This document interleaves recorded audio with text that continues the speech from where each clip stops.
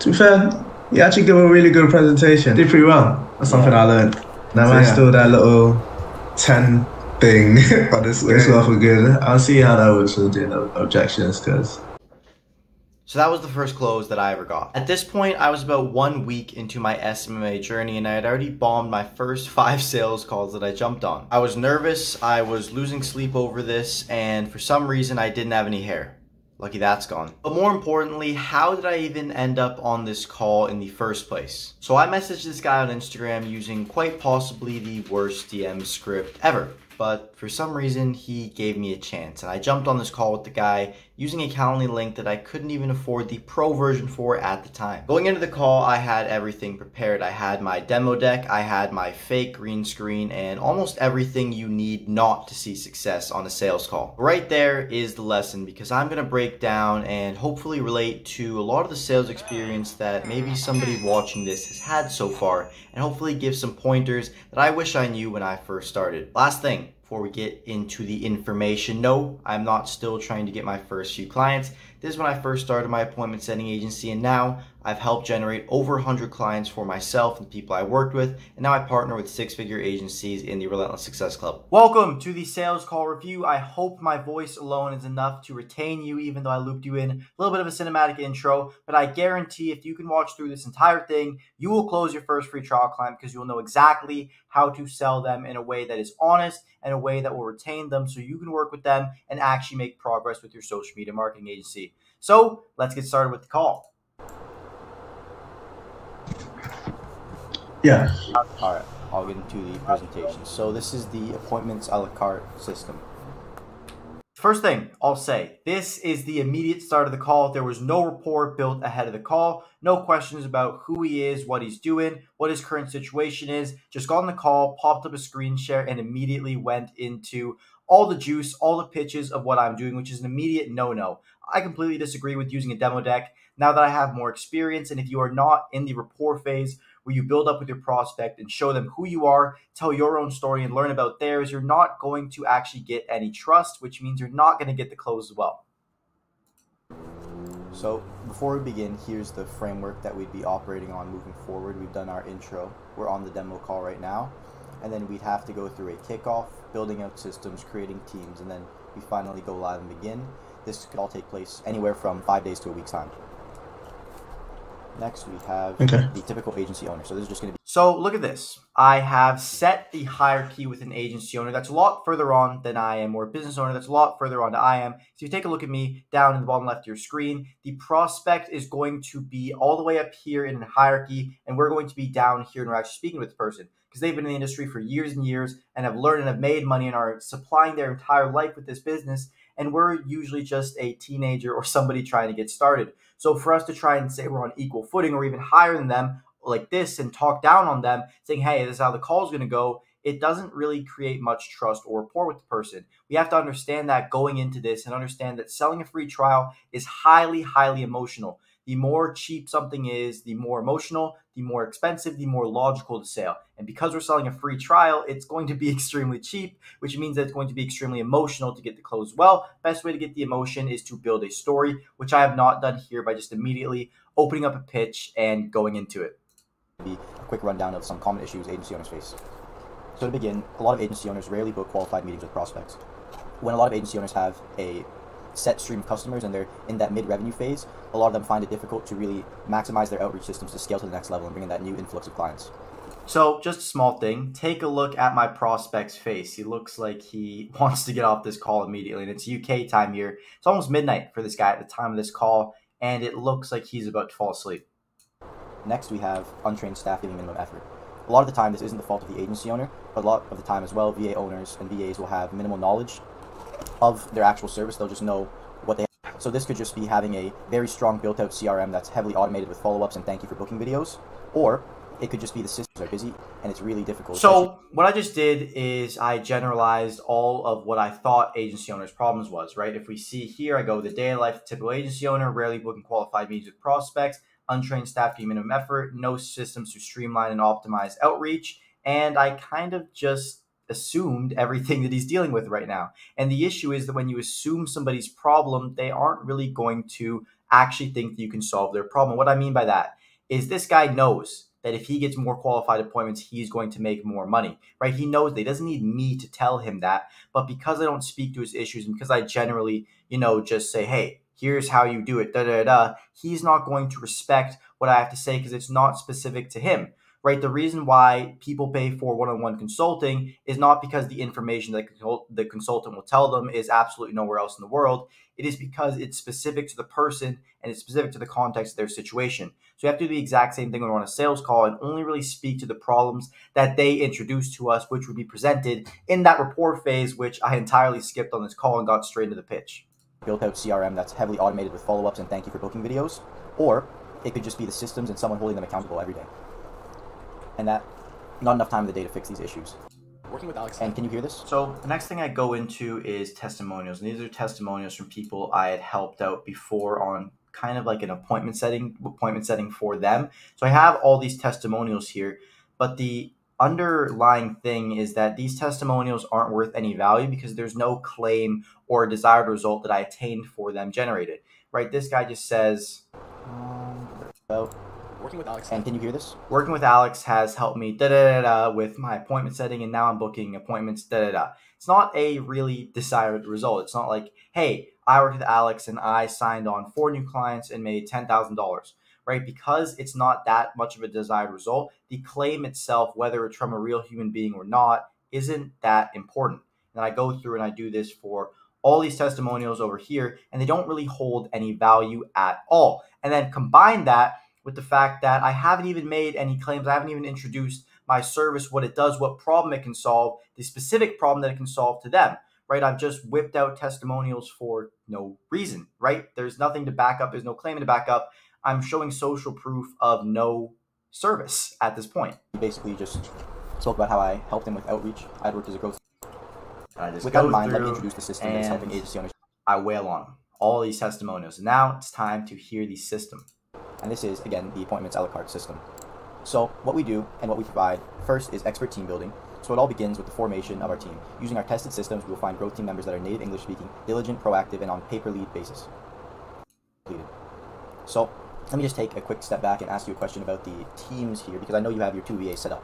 Okay, so what I've done now is go through the features of my offer after showing the social proof, which doesn't really attached to any desired results, right? I've shown this guy testimonials that I've worked with people before. Now I'm showing him the features of what I offer, but I haven't even told him what I can do for him yet. He has no clue what's going on. He's confused because there's no actual direction as to what I'm trying to help him do, which I would have found out if I did that rapport phase at the start of the call to find out, you know, what is your actual problem that I can help you solve? How many appointments do you need? What are you trying to figure out? What is that one thing that is stopping you from getting where you want to be?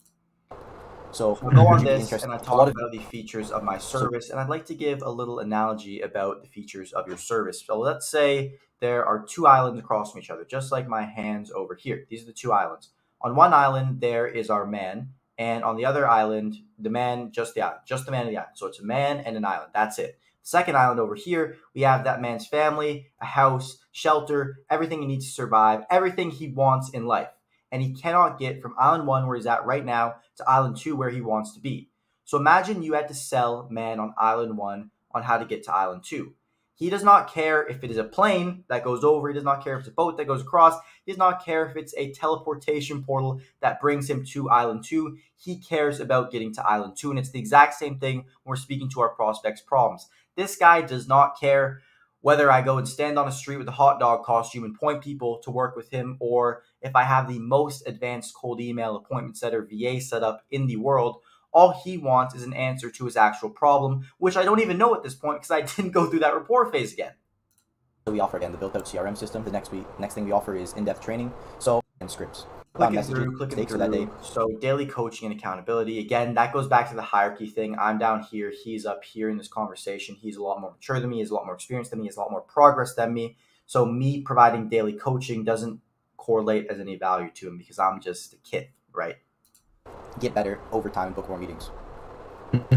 And then, and then we go over of everything. So we have the value stack, and tell you right now, it's not worth this much at this point is not worth this much because I have nothing to back up who I am. I have no actual backup, no evidence of what I can do. And I'll give you an analogy to prove this. Let's say you live beside a homeless shelter.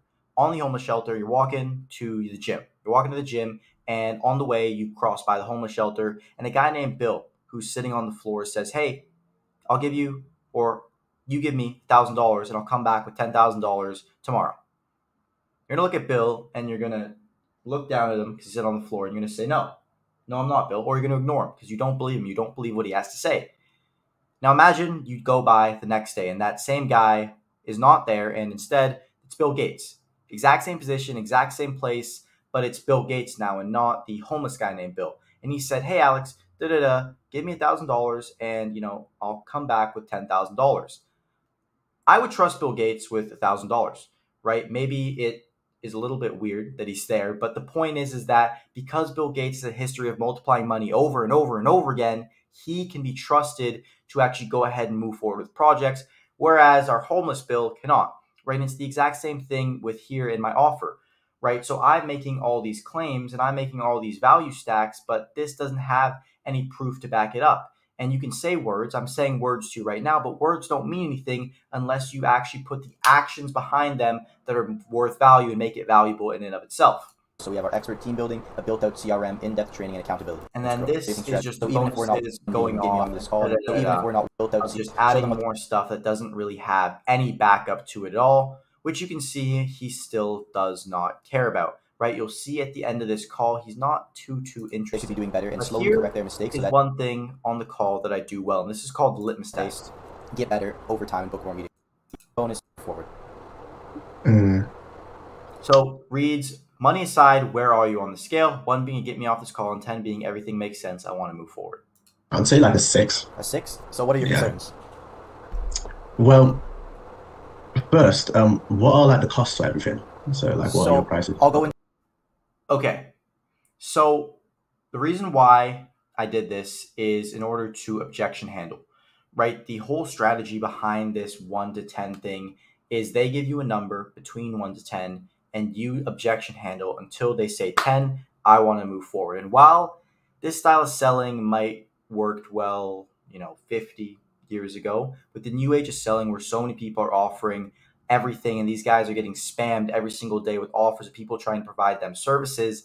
This isn't going to work so well because I'm not their only source of information. I'm not the only person that can help them. So there is no reason for them to be a 10 unless I've shown absolutely every single case study in the world that you can imagine. And I was the actual best in my industry, which, as you can see by the demo deck and the overall carrying out of this call and the testimonials, that I'm not the best in my industry at all. To that, that's that's the next. So price aside, where do you think you are? So if the service was completely free, free of charge, would you take it? And then we're on the scale. You go on. Obviously, I go through what makes people sell. And I objection handle at the nine minute phase into the call, which is done incorrectly, right? While the objection handling is good and he goes like, yeah, man, yeah, yeah, yeah, I want to move forward with that. Let me get rid of this. Apologies. The actual objection handling factor isn't that important at all right? Because why are there any objections to handle? You should have pre handled those objections earlier in the sales call, and that is the underlying thing behind this. Objections should have been brought up and dealt with in the rapport phase. You should have spoke to them as you were talking about who you are in your story. So what I mean by that is let's say this guy had the problem where he couldn't get any appointments on Instagram outreach. Right? That's his problem. He tells me that. So now when I tell my story, I go, hey, my name's Alex. I'm 15 because at the time of this call, I was 15 years old. And, you know, I'm just really trying to get started in the social media marketing agency world, da da da, go on with my story. And then at some point, I answer to the fact that, hey, I helped this person with Instagram outreach because now I'm speaking to the actual problem that he has. And by doing that, this objection is pre handled. What I've done here is I've pretty well just opened a book of every concern that he has, and I'm trying to go one by one, handling every single concern. Luckily, this guy was very patient with me, but if it was anyone but this guy, I can imagine at this point they would have given me smokescreen objections, which is really not what they're dealing with. And because of that, I'd have never got to the actual root of why they didn't want to move forward, and because of that, not get the close at all. Down the core principles of how you're going to be working your DMs, and I'll actually do that quickly here. The in its most basic framework is to find their desired state, find what's stopping them from getting there, and then provide a solution. And that's mm-hmm. in its most basic state. And I go through and I reference loads of books. Sometimes I'll even have them watch an audiobook summary. Yeah, this is just the objection handling phase. Go on here, handling every single objection, and then I value stack the entire thing again, getting it to $16,000, which, as we know, is just not true Once again, at all. Or then I go ahead and pitch the price. And I'll tell you one thing right now, you really shouldn't be pitching the price in a sense of, hey, it's a demo deck, right? You don't put the price on the demo deck because the thing is, is that you don't know if you can help them, right? If you go into the call with the frame of, hey, I don't know if I can help you, I'm going to do what sounds best and I'm going to do what I think is best based on the information you give me, based on the problems I find out about your business, and actually decide if I can help, then that way you're going to have a lot more tailored of a pitch. So this very base pitch dollar per appointment, and then divide. You might have to think about it. And then I go on and I say, hey, you can reserve your spot, and then I continue on and I price anchor the guy, right? I price anchor him down to a lower price a $250 setup, which I mean, as you can see, is not a lot to him. So he just decides to move forward. It's like, hey, he's a kid, da da da, let me move forward. But overall, this sales call was not conducted properly, and I'm going to explain to you why in the overall perspective that you can use to not make the same mistake in the next phase. So this is where you are going to learn how to sell better than I did here. And it's going to go along the basis of selling a free trial or a commission trial where you're not asking for any money up front from the person. The first thing I'm going to establish is the hierarchy. Right? And we're selling this is what it's going to look like. The prospect is up here because they have lots of business experience, and we are down here. So we're going to say us. This is where we are. And when we're speaking to the prospect and we're so much lower than them, we have to learn to speak up. Right? If we try and speak across, it's not going to hit them. If we try and speak down, it's also not going to hit them. We have to learn how to speak up. And the best way to speak up is through doing stories because stories are going to allow us to convey emotion. And when we convey our emotion, let's say this little red gush is our emotion over here. We convey our emotion, we let people into the experiences of our life. And because the offer is full commission and it's fully cheap, we show the emotions that we're hardworking, that we're dedicated, and they go like, yeah, why don't we try moving forward with this guy? And that is the basis on how you can get closed. It's the same framework that over 200 people have used to get their first free trial client in the FCC, which is linked below if you're interested in it.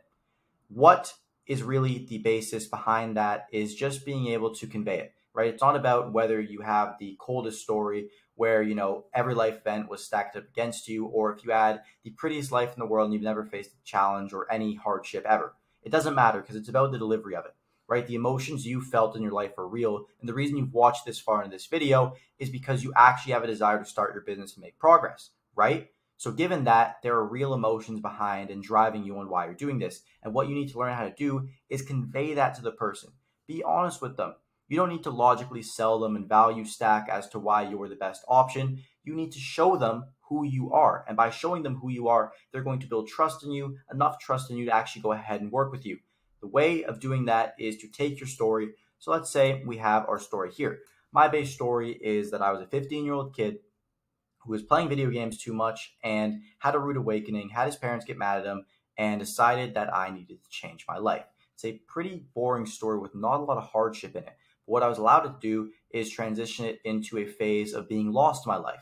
I had no clue what I wanted to do. And because of that, I started trying to improve myself. I went to the gym, I meditated, I tried to improve who I was so that eventually I could work a corporate job, da da da. But then I actually stumbled upon a way to actually help business owners. I spent all my time researching into people on how I can help you as a business owner. And the reason I've reached out today is to show you that strategy and see maybe if you'd be interested in moving forward.